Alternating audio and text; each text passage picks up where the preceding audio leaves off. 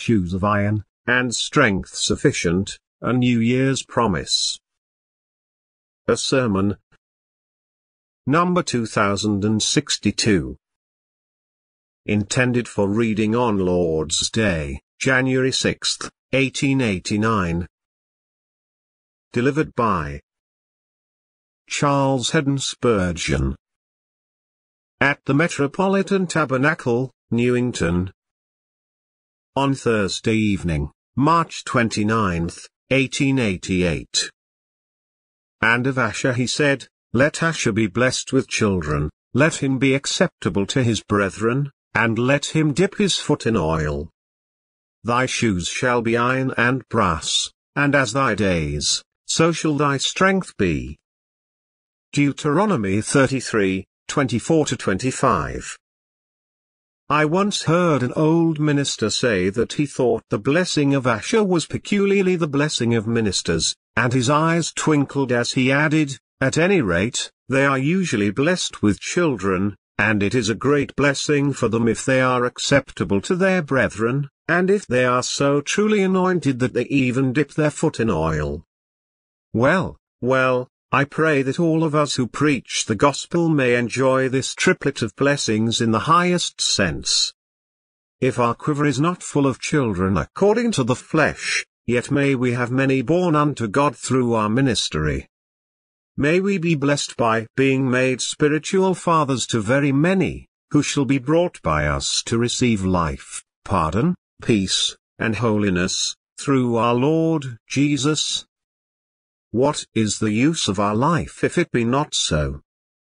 To what end have we preached unless we see souls born into the family of grace? My inmost soul longs to see all my hearers born anew, this would be my greatest joy, my highest blessedness. Ask for me the blessing of Asher let Asher be blessed with children, and may the Lord make my spiritual offspring to be as the sands upon the seashore, it is a great blessing from the Lord when our speech is sweet to the ears of saints when we have something to bring forth which our brethren in Christ can accept, and which comes to them with a peculiar preciousness and power, so that they can receive it, and feel that it is thoroughly acceptable to them. We do not wish to be acceptable to the worldly wise, nor to the error hunters of the day, but we are very anxious to be pleasant to the Lord's own children brethren in Christ. They have a holy taste whereby they discern spiritual meats, and we would bring forth for food that which they will account to be nourishing and savory. Every minister prays to be acceptable to his brethren. And what could we do without the third blessing, namely that of unction? Let him dip his foot in oil. Oh, for an anointing of the Holy Spirit, not only upon the head with which we think, but upon the foot with which we move. We would have our daily walk and conversation gracious and useful. We wish that, wherever we go, we may leave behind us the print of divine grace. I was asking concerning a preacher what kind of man he was, and the simple, humble cottager, answered me, well, Sir, he is this kind of man, if he comes to see you, you know that he has been. We must not only have oil in the lamps of our public ministry, but oil in the vessels of our private study. We need the holy oil everywhere, upon every garment, even down to our skirts. I know that there are mockers who scoff at the very mention of unction, but I pray that to myself and my brethren the promise may be fulfilled, he shall dip his foot in oil. Such a man, anointed with fresh oil, holds an unquestioned office, enjoys an unfailing freshness, and exercises an effectual influence. Wherever he goes you see his footprints, for his foot has been dipped in oil. Well, now, if these three blessings be good for ministers, they are equally good for all sorts of workers. You in the school, you who visit tract districts, you who manage mothers' meetings, and you who in any shape or way endeavor to make Christ known, may you have the threefold blessing. The Lord give you many spiritual children, may you be blessed with them, and never be without additions to their number. The Lord make you acceptable to those among whom you labor, and the Lord grant you always to go forth in his strength, anointed with his Spirit. That is the first part of our text, and I am not going to say any more about it, as the second part is that to which I shall call your especial attention. May the Holy Spirit make the promise exceeding sweet to you, and grant you a full understanding of it. Thy shoes shall be iron and brass, and as thy days, so shall thy strength be. There are two things in the text shoes and strength. We will talk about these two, hoping to possess them both. I. Shoes shall be iron and brass. That is a very great promise, and I fear that I shall not be able to bring out all its meaning in one discourse. I find that the passage has several translations, and, though I think that which we have now before us is by far the best, Yet I cannot help mentioning the others, for I think they are instructive. These interpretations may serve me as divisions in opening up the meaning. I take it as a rule that the Lord's promises are true in every sense which they will fairly bear.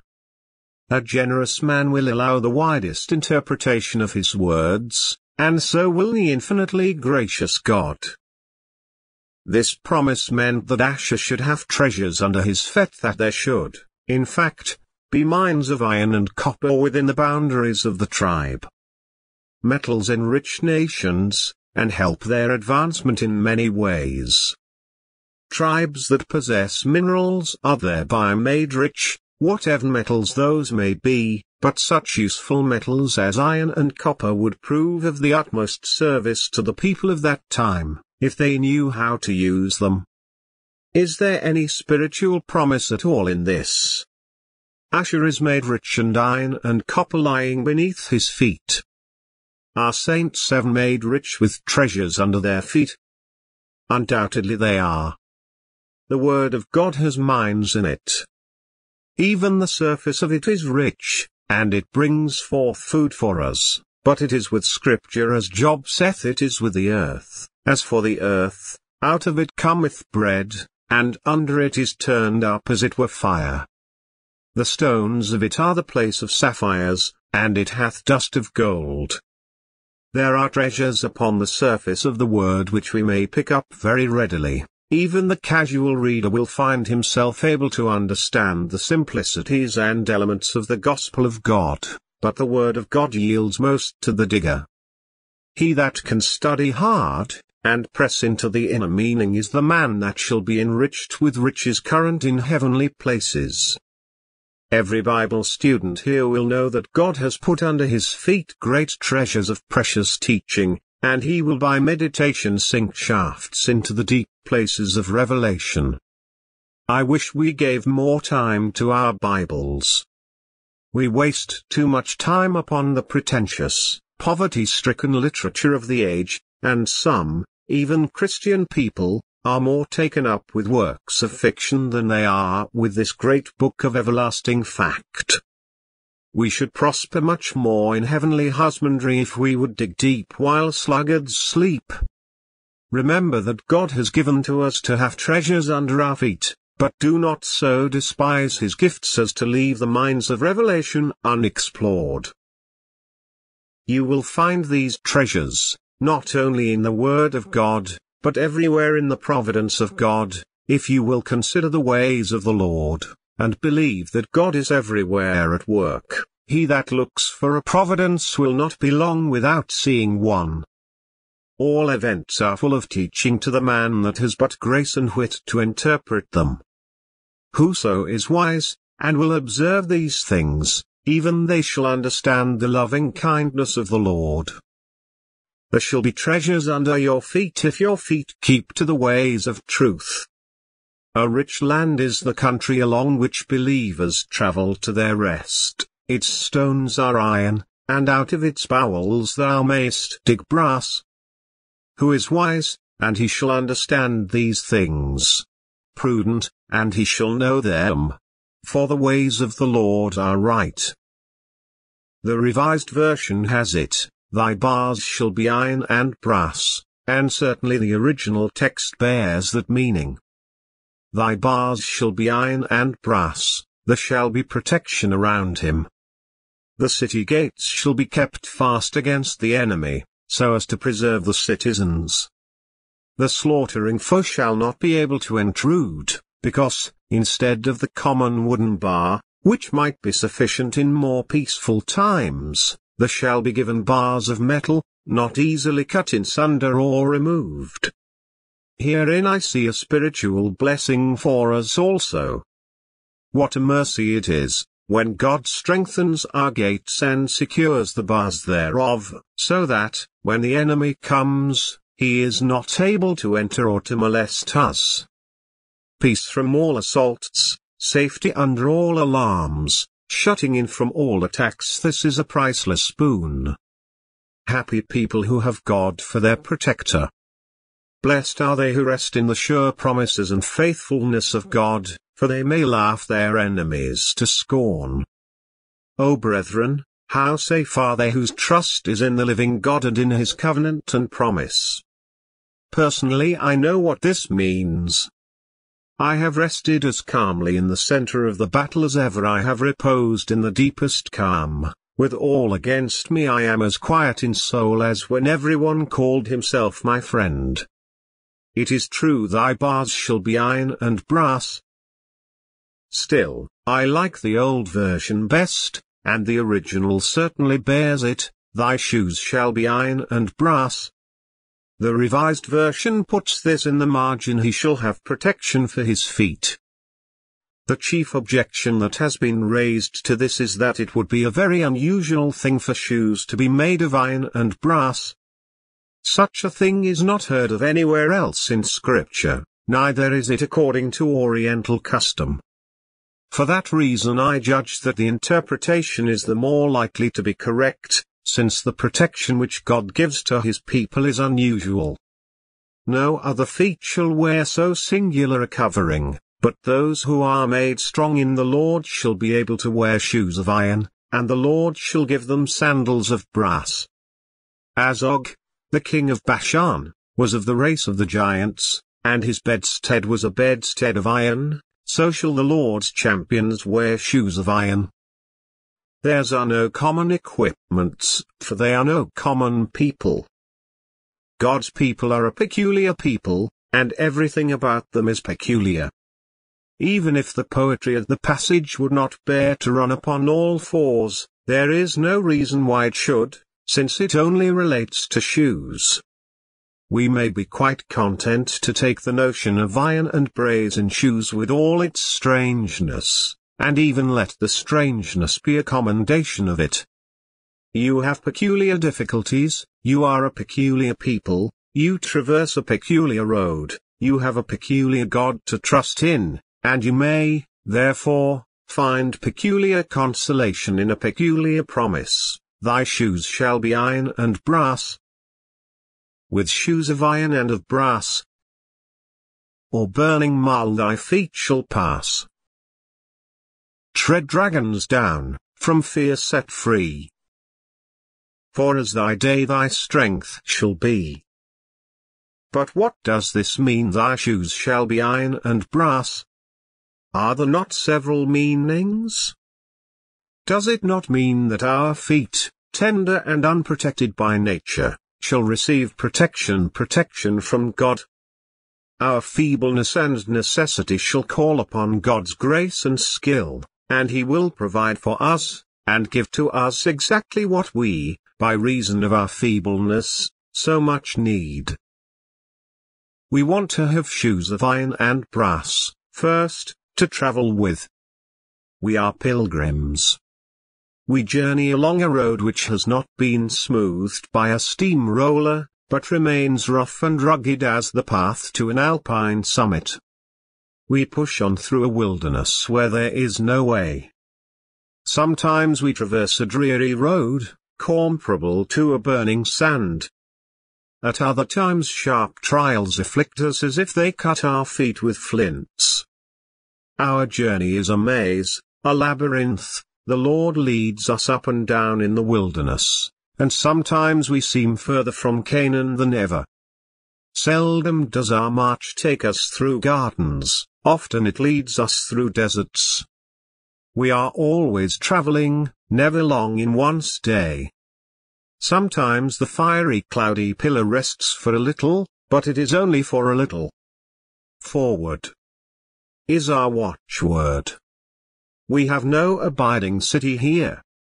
We pitch our tent by the wells and palms of Elim, but we strike it in the morning, when the silver bugle sounds, up, and away.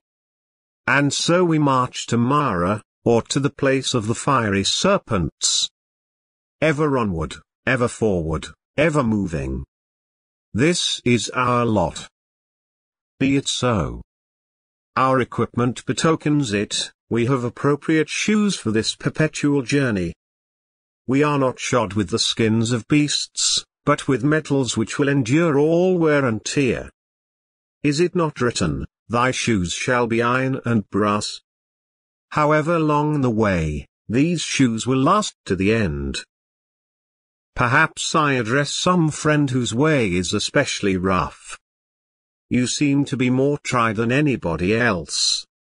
You reckon yourself to be more familiar with sorrow than anyone you know, affliction has marked you for its own. I pray you take home this promise to yourself by faith. The Lord saith to thee, Thy shoes shall be iron and brass. This special route of yours, which is beset with so many difficulties here God has prepared you for it. You are shod as none but the Lord's chosen are shod. If your way is singular, so are your shoes. You shall be able to traverse this thorny road to journey along it with profit to yourself, and with glory to God. For your traveling days you are well fitted, for your shoes are iron and brass, if the sorrows of thy case seem peculiar still to thee, God has promised needful grace. As thy days, thy strength shall be. Shoes of iron remind us of military array they are meant to fight with. Brethren, we are soldiers as well as pilgrims. These shoes are meant for trampling upon enemies. All sorts of deadly things lie in our way, and it is by the help of these shoes that the promise is made good. Thou shalt tread upon the lion and adder, the young lion and the dragon shalt thou trample under feet. Are we not often too much like the young man Jether, who was bidden by his father to slay Zebah and Zalmunna, but he was afraid?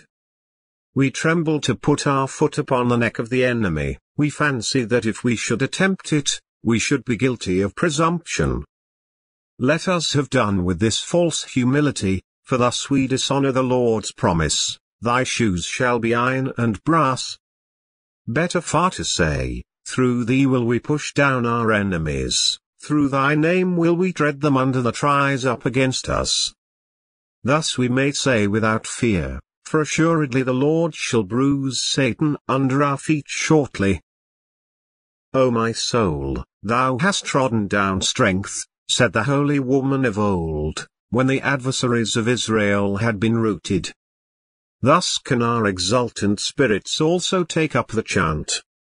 I also can say, O my soul, thou hast trodden down strength.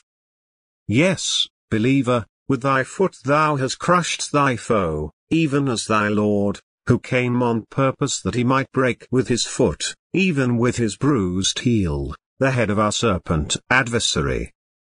Be not afraid, therefore, in the day of conflict, to push onward against the foe. Do not be afraid to seize the victory which Christ has already secured for thee. Thy shoes shall be iron and brass thou shalt trample down thy foe, and march unharmed to victory. What a blessing it is when we get self under our feet. We shall have good use for iron shoes if we keep him there. What a mercy it is when you get a sinful habit under your feet. you will need have shoes of brass to keep it there. What a mercy it is when some temptation that you have long struggled with at last falls to the ground, and you can set your foot upon it. You need to have both of your shoes strengthened with iron, and hardened with brass, that you may bruise this spiritual enemy, and crush out its life. Feet shod with sound metal of integrity and firmness will be none too strong in this evil world, where so many, like serpents, are ready to bite at our heels. Only so shod shall we win the victory. See, the Lord promises that we shall have shoes suitable alike for traveling and for trampling upon enemies. Next, we have fit shoes for climbing. One interpreter thinks that the sole of the shoe was to be studded with iron or copper nails. Certainly, those who climb would not like to go with the smooth soles which suit us in our parlors and drawing rooms. There are many instances where a rough tip of iron, or a strong nail in the heel of the shoe, has checked the slipping mountaineer when gliding over a shelving rock, and there he has stayed on the very brink of death. Our spiritual life is an upward climb, with constant danger of a fall. It is a great mercy to have shoes of iron and brass in our spiritual climbings, that should our feet be almost gone, we may find foothold before we are utterly cast down. We ought to climb, the higher our spiritual life the better. It is written of the believer, he shall dwell on high. We ought not to be satisfied till we reach the highest places of knowledge, experience, and practice. High doctrine is glorious doctrine, high experience is blessed experience, high holiness is heavenly living. Many souls always keep in the plains, the simple elements are enough for them, and, thank God, they are enough for salvation and for comfort. But if you want the richest delight and the highest degree of grace, climb the hills and roam among the mysteries of God, the sublime revelations of his divine will. Especially climb into the doctrines of grace. Be not afraid of electing love, of special redemption, of the covenant, and all that is contained in it. Be not afraid to climb high, for if thy feet be dipped in the oil of grace, they shall also be so shod that they shall not slip. Trust in God, and you shall be as Mount Zion, which can never be removed. Your shoes shall be iron and brass, for lofty thought and clear knowledge, if you commit your mind to the instruction of the Lord. Receiving nothing except as you find it in the Word, but in a childlike spirit receiving everything that you find there, you shall stand upon your high places. Your feet shall be like hinds' feet, and your place of abode shall be above the mists and clouds of earth's wretched atmosphere of doubt. Rise, also, to the highest graces and the noblest virtues. As is the food we feed on, such should our actions be. Let us love, for God is love, and as dear children we must be imitators of Him in all gentleness, tenderness, and forgiveness climb to the heights of self-denial, the summits of consecration. Be as near heaven as is possible for those who dwell on earth. Have you not the shoes to climb with? Wherefore tarry down below? I will not press this longer upon you, for I hope that your hearts aspire to climb up where your Lord reveals himself in clearer light, but, lest you should be at all afraid of the climbing as the aged man is afraid of that which is high, I would arouse you to a holy bravery, since God has not given you shoes of iron and brass merely to trip over the plains. He means you to climb, your equipments prove it. Will you be as the children of Ephraim, who, being armed, and carrying bows, turned back in the day of battle? Will you be shod with iron, and melt like wax under a little heat of opposition? Once more. These shoes are for traveling, for trampling, for climbing, they are also made of iron and brass for perseverance. you would not need such shoes for a little bit of a run for a trip up the street and back again. Since the Lord has shod you in this fashion, it is a warning to you that the way is long and weary, and the end is not by and by. The Lord has furnished you with shoes that will not wear out. Old shoes and clouted were good enough for Gibeonites, but they are not fit for Israelites. The Lord does not mean that you should be arrayed as beggars, or become lame through worn-out shoes. The sacred canticle, in one of its verses, saith, How beautiful are thy feet with shoes, O prince's daughter! The princes of the heavenly household shall be shod according to their rank and this shall be the case at the end of their journey as surely as at the beginning. Whether Israel traversed sand or rock, the camp never halted because the people had become lame, for the Lord had said thy shoes shall be iron and brass. It is a good pair of shoes that lasts a man for forty years, Yet there are some of us who can testify that God's grace has furnished us with spiritual shoes of that kind. I can speak of nearly that length of time since I knew the Lord, and I bear my unhesitating witness that I have found the grace of God all sufficient, and his promises most sure and steadfast. If we are allowed to live till we touch the borders of a century, or if we even fulfill our hundred years, these shoes would never be too old. These are the sort of shoes that Enoch wore, and was it not for more than 300 years that he walked with God? He was always walking, but his shoes of iron and brass were never worn out. It matters not, dear friend, how severe may be your trials and troubles, or how long may be your pilgrimage through this wilderness, God, who gives these extraordinary shoes, such as no other has ever fashioned, and such as men are not accustomed to wear, has in this provided you against the utmost of endurance, the extremity of suffering. Thy shoes shall be iron and brass does not this symbol signify the best, the strongest, the most lasting, and the most fitting provision for a pilgrimage of trial, Thy shoes shall last as long as thou shalt last.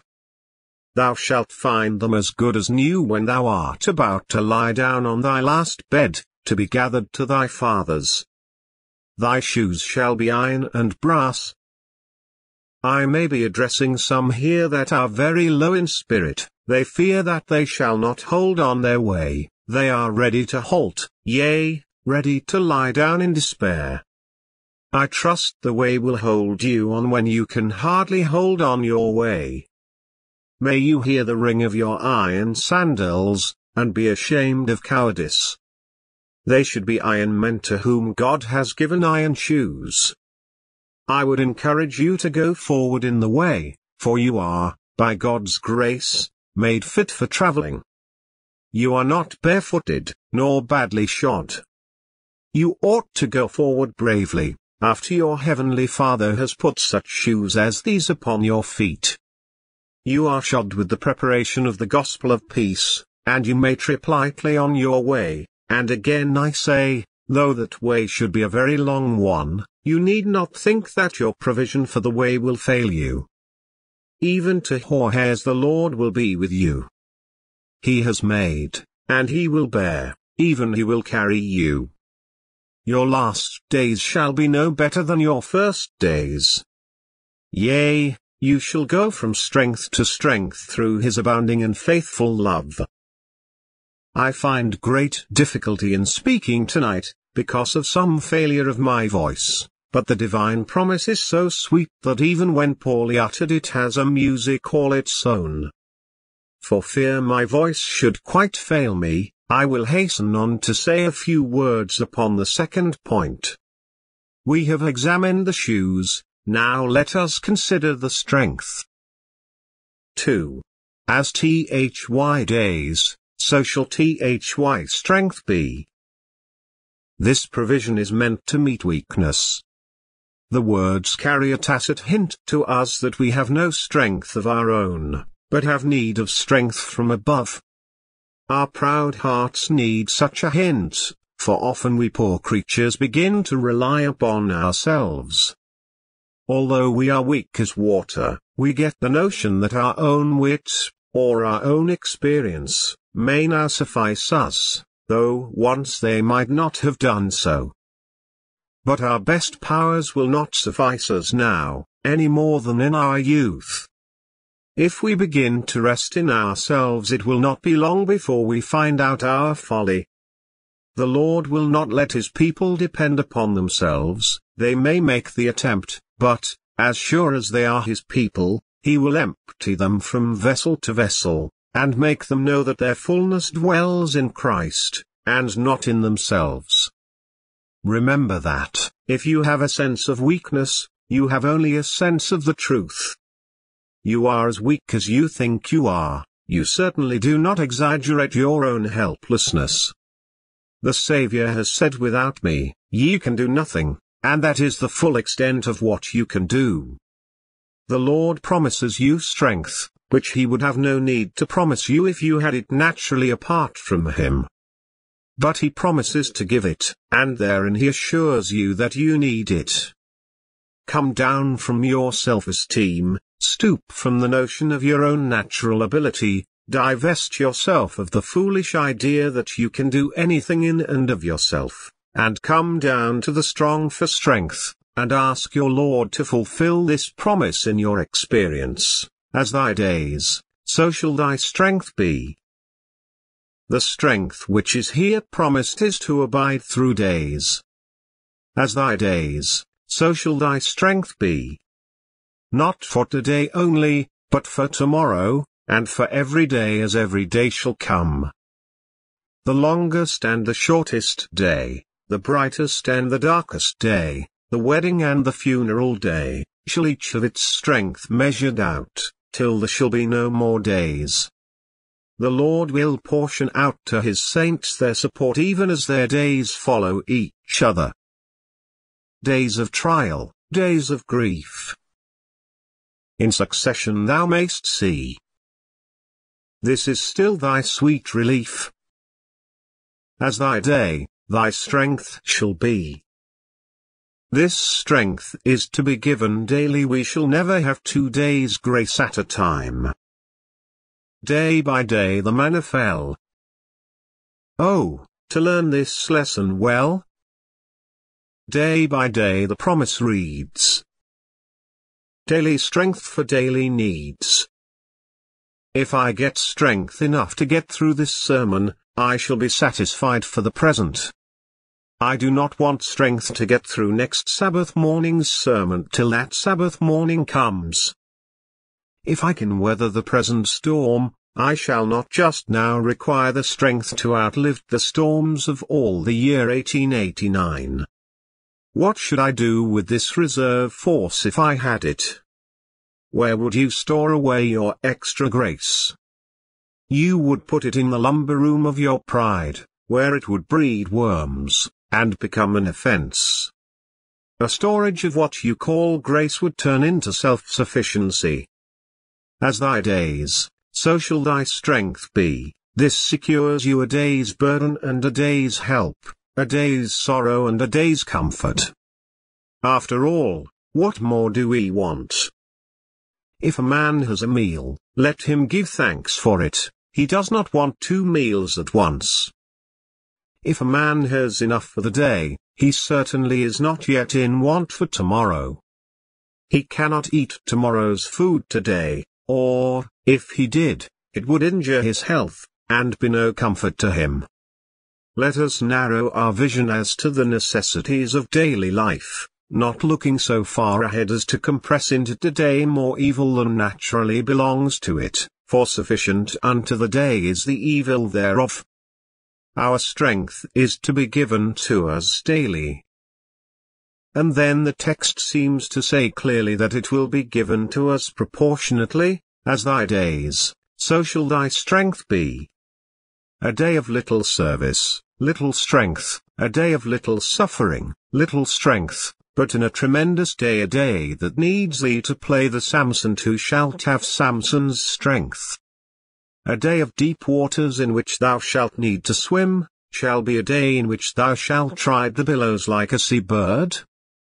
Do you not think that this might almost tempt us to wish for days of great trial, in order that we might receive great grace? If we are always to go smoothly, and to receive but little grace in consequence, we shall never rise to the great things of the divine life. We shall be dwarfs, and none shall say, there were giants in those days.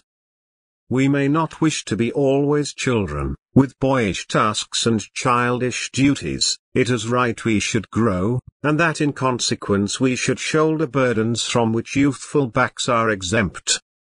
Who would wish to be always a little child? Great grace will be sent to us to meet our great necessities. And is not that a most desirable thing?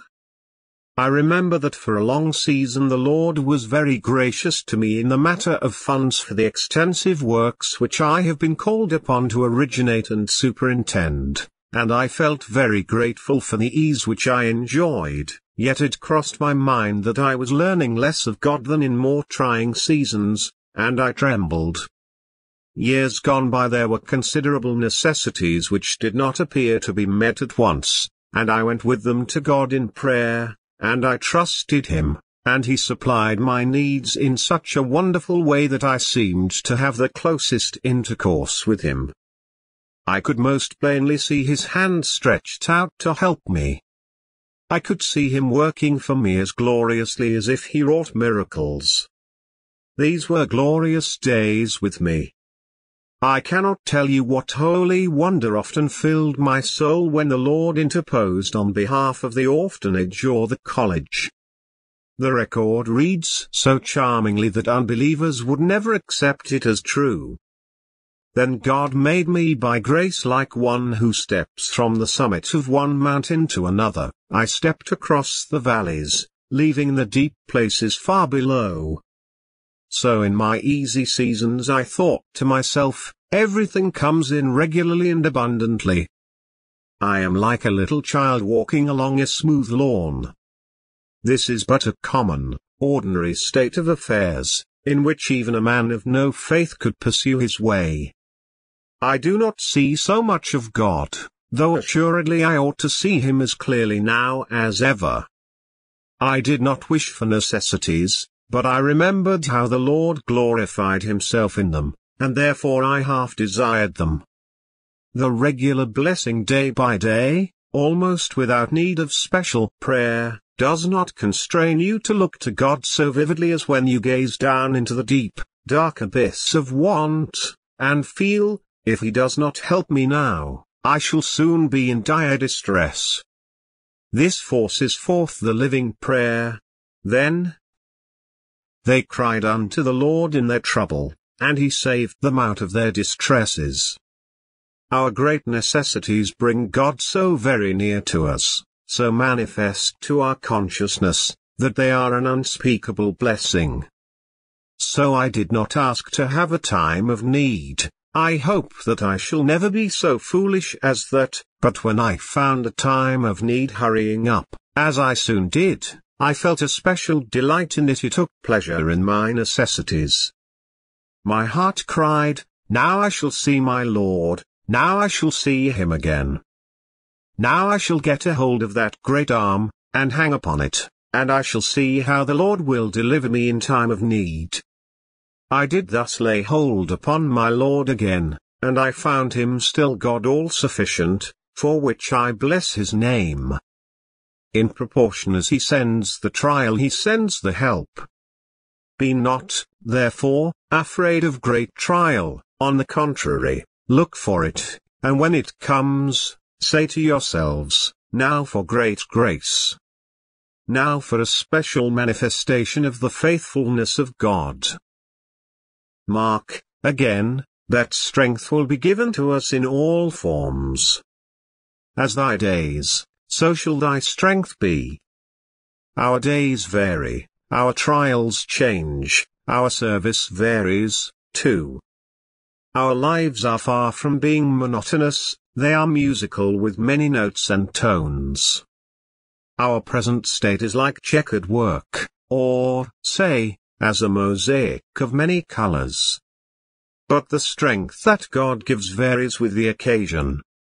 He can bestow physical strength, and mental strength, and moral strength, and spiritual strength. He gives strength just where the strength is needed, and of that peculiar kind which the trial demands. We have no need to fear because we feel weak in a certain direction, if we need strength in that special quarter, the strength will come there.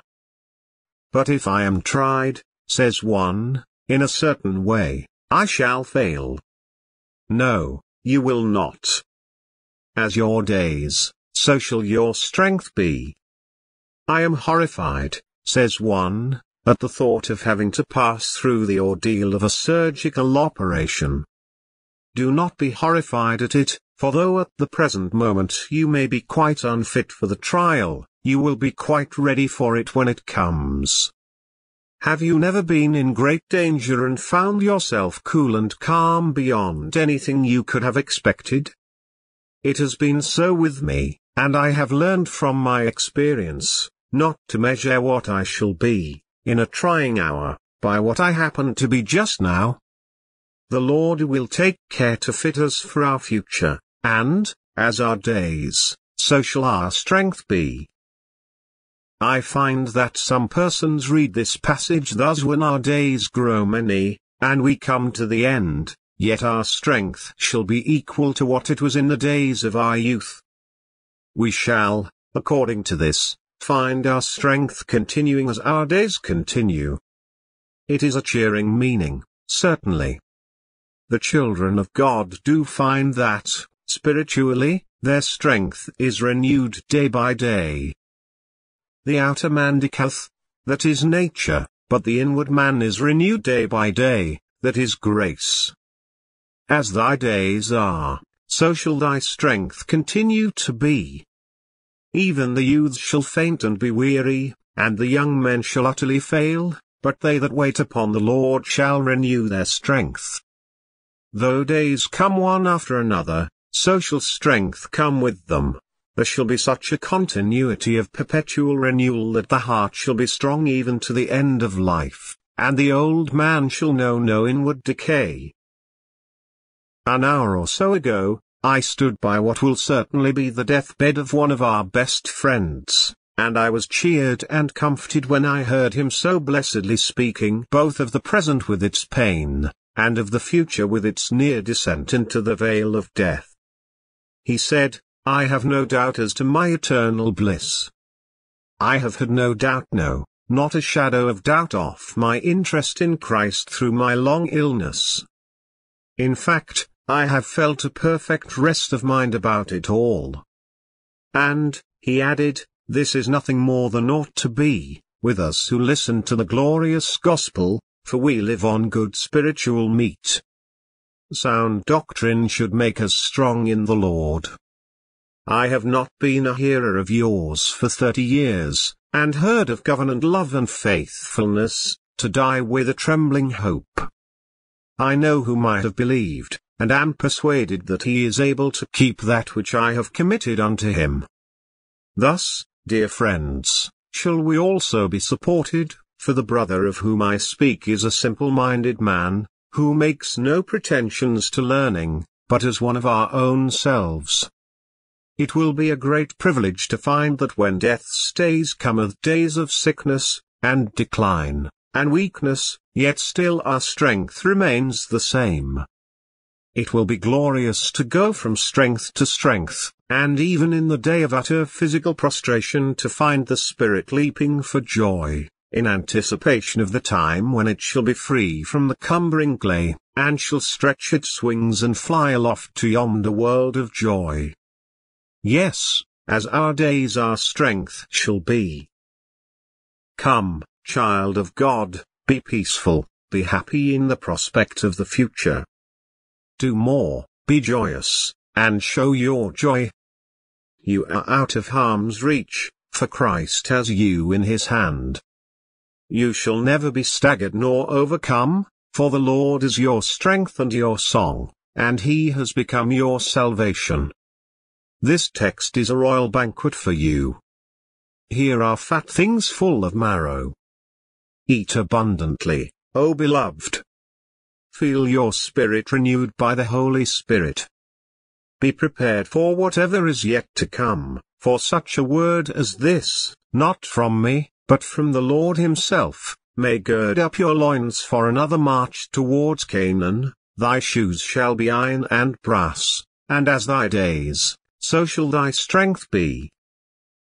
I am sorry, very sorry, for those among you who have no portion and lot in such a promise as this.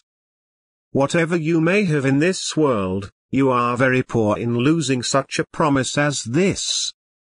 You are shoeless, or if you have some wooden sabot, it will soon be worn out. You will never be able to travel to heaven in any shoes that mortal men can make for you. You need to go to the Great Father, who alone can say, put a ring on his hand, and shoes on his feet. I am sorry for you in your present condition, for you have no strength but your own, and that is a poor piece of weakness. You are troubled even now, what will you do in the swellings of Jordan? The common footmen of daily life have wearied you, what will you do when you have to contend with horses? O souls, what will you do when you are ushered into the presence of the dread mysteries of another world? O sirs, you are without strength, but is not that a grand verse? When we were yet without strength, in due time Christ died for the ungodly. Ungodly as you are, clutch at such a word as that. Without strength as you are, yet lay hold upon the Lord's strength. It is for those who have no strength that Christ came into the world. It is for the ungodly that he laid down his life. Come, and trust him. Let him become your strength and your righteousness from this time forth, and may he manifest himself to you in a special and gracious way, and unto his name shall be praise, for ever and ever. Amen. Portion of Scripture read before Sermon Psalm 37. Hymns from our OWN Hymn Book 686, 89, Part 2, 46, verse 1. Letter from Mr. Spurgeon Beloved readers, to you, one and all, may the new year be fruitful of blessings. I wish you the text of this sermon is a benediction, so far as it is applicable to you. Specially may your feet be shod with the iron and brass which are promised you, and this will be better than the glass slippers of fortune, or the silver sandals of wealth. For myself, I beg your kind remembrance when you have the ear of the king. I need restored strength, for I am well, but weak, and for another year of service I need that the right hand of the Lord may be laid upon me, and that he should say to me, Be strong, fear not. He that has supplied might to our feebleness for so many years will not fail us now. Week by week the loaf will be set before you in this sermon, and we shall together bless the Lord of the feast. With all the good wishes of the season, in sincerity and truth, I am, your weekly visitor. Charles Haddon Spurgeon Mentone, Jan 1, 1889